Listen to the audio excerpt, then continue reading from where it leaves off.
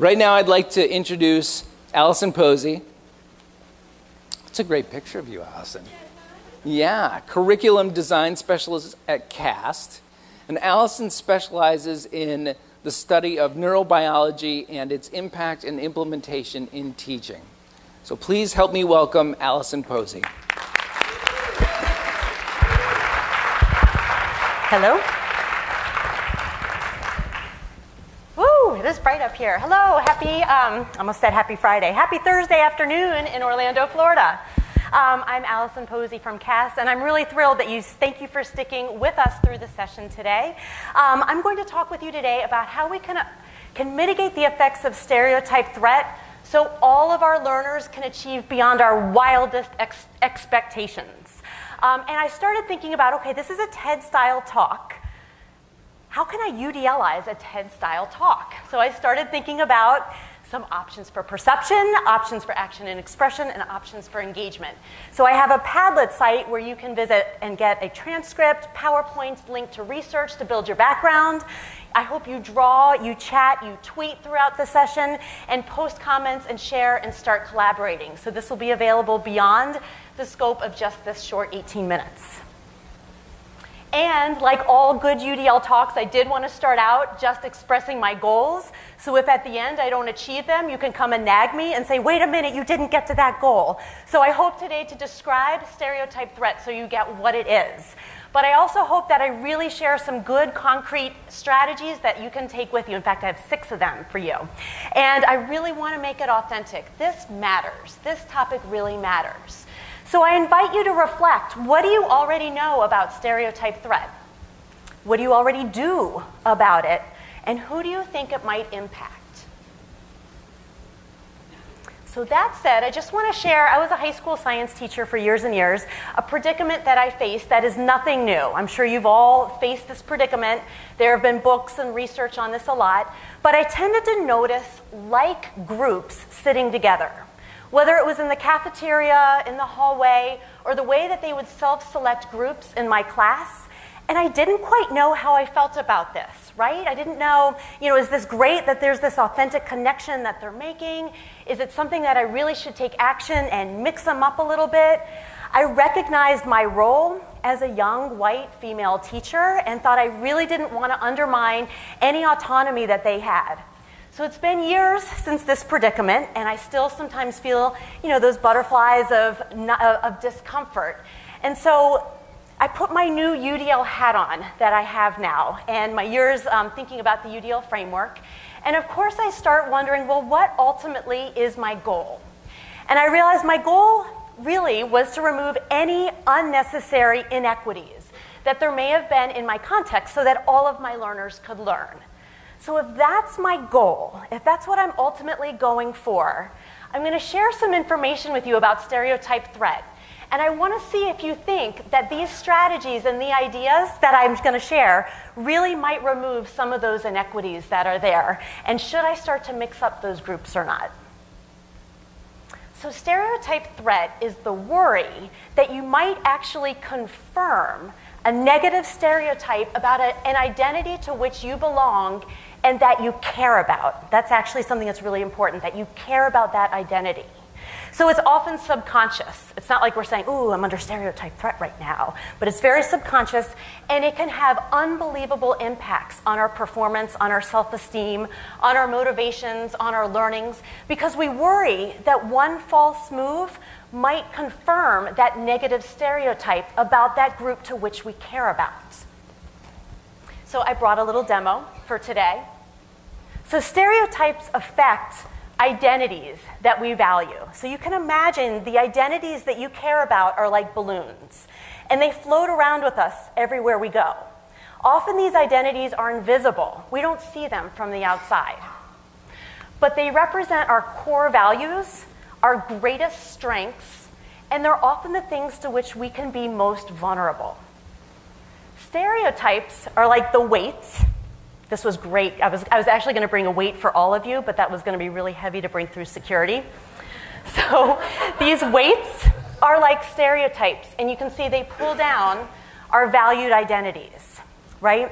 And so I'm going to give you an example. I'm a working mom. You probably didn't see that on, my, um, on the front just from looking at me, but that's something I care very deeply about, being a working mother. So this is one of my valued identities. And one of the stereotype weights that's in the air is that working mothers are going to miss their kids' events because they're way too busy. And so I actually I don't participate in any of the parent-teacher groups and gathering activities that happen at my kids' school. And then you know I started to think, wow, maybe this is one of those subtle impacts of stereotype threat because I care about being a working mother. And there is a stereotype that is subconsciously subtly in the air and it is impacting my behavior. So, again, this wasn't a conscious thing that I was like, oh, because there's stereotype threat, I'm not going to participate. But it was subtle, and I do think it was impacting my behavior. So, I'd like you to reflect for a moment on one of your identities that would be on your balloon. What's an identity that you value? And what stereotype weights are in the air that might be weighing down that identity? And how might it impact some of your behaviors? It's okay, it's a TED talk, but you can reflect for a moment.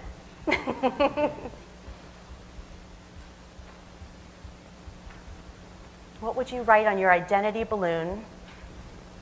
What would be one of your stereotype threat weights? And how might it actually be impacting your behavior?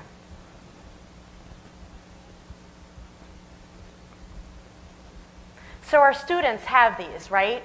And we often don't see their valued identities.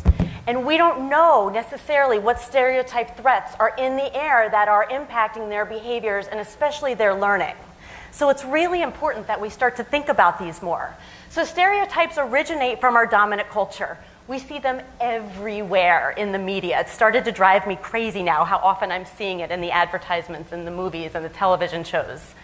It's, it's, um, it originates in our family systems, our communities, our schools, and our friendships are all impacting these stereotypes. And they do have an evolutionary origin that makes sense, right? If you look like me, you kind of talk like me, and we kind of hang out together, there's some safety in that number. And we're going to protect each other and we're going to belong. So it makes sense evolutionarily. evolutionarily. And especially susceptible to stereotype threat, it's not who you always think. They are minority groups, but it can just be those who are fewest in number. And it tends to be at elite levels, and I've said this a number of times, it's for those who really care. They're the ones who are most susceptible. So I thought, here we are. We're at a very elite UDL conference. And those who may be fewest in number maybe are the UDL novices, folks who are brand new to UDL. And I started to think about what might be some of the subtle effects of the stereotype of being a UDL novice that just might be floating in the air and might be weighing down the care, that, so, that identity you have about universal design for learning and reaching all learners. Maybe it impacts your participation in some of the, the sessions. Maybe it impacts the number of selfies you take with David Rose, right? It might be really impacting some of these subtle behaviors. But they're there and they're real and they really impact all ages and groups are susceptible. So they took white male math majors at Stanford and just primed them with a short newspaper article that said Asian Americans are really strong at math, and they saw an 18% decrease on their math tests. So I want to show you a quick example um, of a little girl. This is from the movie um, uh, Man on Fire, and there's a stereotype threat in the air about that's affecting an identity that this little girl has. You can go ahead go to it. Um, and I want you to see what behaviors you notice. And we're going to jump now into strategies that we're using to mitigate stereotype threat. So, see what strategy Denzel Washington uses here with this little girl. Eyes closed.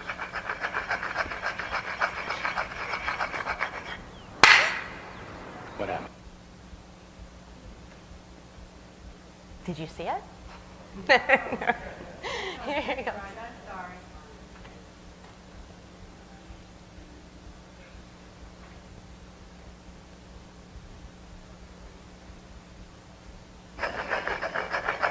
Concentrating. Eyes are closed.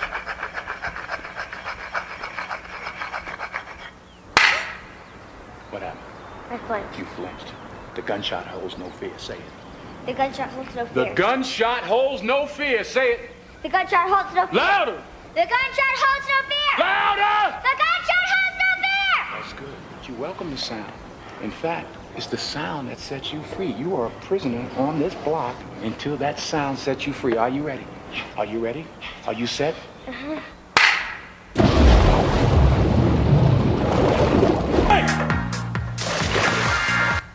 Are you all ready? Are you ready? Are you ready? Are you ready? I know it's in the afternoon. No one's. Are you ready? Okay, thank you. What was the identity she valued? Swimming. Yep, she valued swimming. What was a stereotype threat that might be in the air? If she's valuing swimming and she's a racer, what might she be nervous about? Being slow. Yeah, being slow off the block. She's nervous about being slow. She's this small, skinny girl standing all alone by herself on a block. She's terrified about being slow. She cares about swimming. She wants to be faster. A consequence. What happened? She flinched. Yeah, she flinched. And what might happen to her time? She'll get slower. And that might then self affirm that stereotype that's subtly in the air. And what did Denzel Washington do? The gunshot holds no fear, right? The gunshot knows no fear. He started to prep her, he started to get her ready. And what I'm going to challenge you all to do today is that you're going to help all your learners know that their valued identity, their balloons, will know no fear. They'll know no fear. Because surprisingly simple, you guys don't have to go buy anything. Surprisingly simple strategies can mitigate the effects of stereotype threat and turn these stereotype knots into bows. It's actually a title of a fantastic research article. So, first thing you can do, start to reframe tasks. When educators reframed that a little anxiety has been shown to help test performance, look at what happened in the test performance, especially for math. Significantly increased. The only difference was that one phrase that was said before the test. And believe me, before this TED talk, I thought, a little anxiety has been shown to help, right? Reframing this task, educators reframed that a standardized test measures general problem solving as opposed to it being about intellectual ability. Watch what happens when they reframed. Here is the African American score. Huge increase just from that reframing of that test. There are so many studies like this. This has been replicated over and over again. Second thing you can do is a really short self affirmation activity with your students. Have them craft an identity narrative, one that really affirms their values, the groups, the beliefs, the goals, the relationships they have, so they start to see themselves as being complex and multifaceted.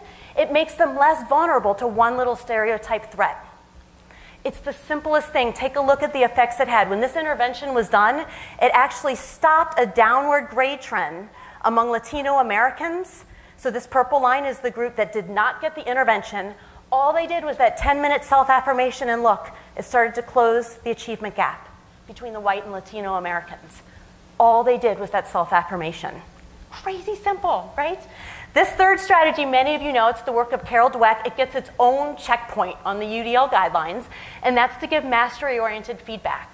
If we share this incremental growth growth-based theory of intelligence with our learners that their brains are growing that they can build these new neural connections when they're hard, um, solving hard problems hard work and effort matter look at what happens this group was given the incremental growth treatment their end of year grades over two years improved those who did not receive that treatment it stayed the same and what's more the group that received that growth uh, mindset they, said, they reported that they enjoyed school more Imagine that. Imagine enjoying coming to school. The learning actually follows. So, to push on mastery oriented feedback, because I figured a lot of you had heard that one already, there's another kind of feedback called wise feedback, and it goes so well with UDL because it challenges us to have really high, rigorous, relevant goals for all of our learners and assure them that we're confident that they can achieve those high level goals.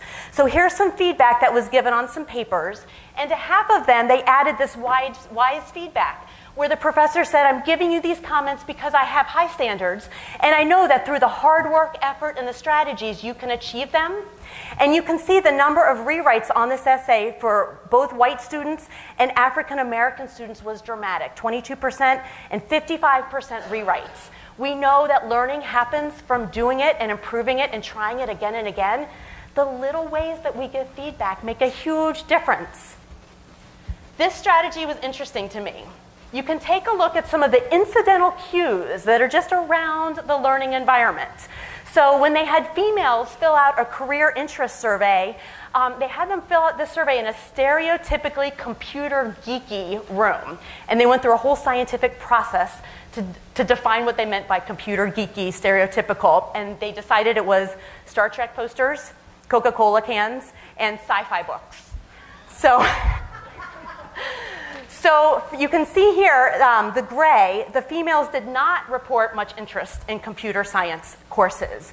But all they did differently was change the poster to a nature poster, the Coke cans to water bottles, and the books to general fiction books. And all of a sudden, take a look at the light gray, jonk, interest unbelievably higher in computer science. So, Joni mentioned this this morning, but think about your leadership structures. Think about the role models that are presented in the environment. What's on your wall? What are the examples on your worksheets? And engage students in co constructing the design of that so it's representative of the students in your learning environment. This is all free. It's so exciting. It's so impactful. Our perceptions are so easily influenced. You probably think this elephant has four legs. But if you look a little bit closer, it's much more complicated than that. Our brain is so goal driven. We see what we want to see. And by reframing, reappraising, offering feedback, and t- paying attention to those incidental cues in the environment, we can impact perception and learning. So, CAST did an experimental study that looked at the role of stereotype threat in eighth grade inquiry science classrooms. And they did a simple thing on the threat days they read a really short article about either women or low socioeconomic students underperforming in STEM. And on the non threat days, they just did an innocuous nature reading. And what they found was so interesting. Both students, teachers, and independent observers rated the quality of collaboration to be lower. The red is on the threat days. The quality of collaboration was what was affected. It's like on those threat days, those students became that little girl standing all alone, vulnerable on the block again. And that collaboration was reduced. So they then followed up with the professional development training with teachers. And the favorite strategy that teachers really found impactful in their classroom was communicating with their students about emotions. And this can feel, again, really uncomfortable. Do I really want to know how you're feeling? Um, and they liked the mood meter because the mood meter was really concrete and action oriented. You just ask them, Where are you? Where do you need to be to achieve this task? And what strategies will help you get there? And in a UDL environment, you have these strategies designed in the learning environment from the beginning options for engagement, action and expression, and engagement. So, what this research is all showing is nothing that exciting, but it's so powerful. There are social, emotional roots to stereotype threats. Our nervous system, and I make my brain, those of you who know me, here's my little brain model. Our nervous system is constantly evaluating is this good for me or bad for me? Under stereotype threat, you have increased blood pressure, sweat, the cortisol stress levels. It impacts your perception and strategic networks and you have a decrease in working memory. In fact, your brain activation patterns will change. When told that men typically perform better on spatial awareness tests, you can see that, they, well, you can look closer at some other point, but you can see that there are differences in the brain activation patterns. It actually, um, these women were focusing more on social emotional cues than visual spatial um, awareness that was needed for that test. So even our brain pattern is affected by those subtle little cues that are in the learning environment. So I want to return to my, to my initial um, questioning about the students' groups. And I wonder if we begin to implement some of these strategies and create an environment that is reducing stereotype threat, if we're doing this classroom by classroom, school district by school district, what might ensue? What sort of empower, empowerment might we, might we give to our students, social identities, And how might we, we get rid of some of these stereotype weights that are pulling them down? What might, what might ensue? So here are the strategies, six of them. I want you to pick one now that you're going to try next week. Go ahead and pick one. And then I want you to do is try it out. Just try changing the posters. Just try reframing a task. Give some different feedback. And share out what you start to observe as being different in your students. Because we are all at risk. It, stereotype threat affects our skills, our collaboration, and the emotions that are absolutely essential for learning. And these strategies are so simple. But I recognize that stereotype threat is not a magic bullet. I started seeing its impacts everywhere. I was like, this is gonna, this will save all of education. It's not a magic bullet. It's not. It doesn't negate the other inequalities or experience discrimination that is rooted in a whole history of experiences. I definitely recognize that. And I definitely recognize the variability in our learners. They all have different, important, valued identities that are often invisible to us. The stereotype threat pressures that are weighing them down, we don't know what they are. They're going to be so variable.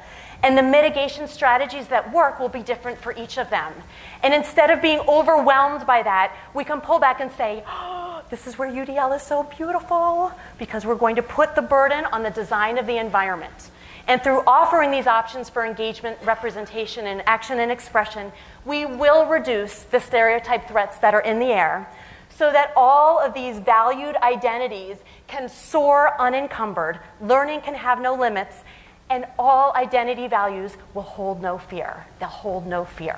So we're going to clip these out. We're going to set off all the fire alarms, let these balloons fly, and have a great afternoon. Thank you so much.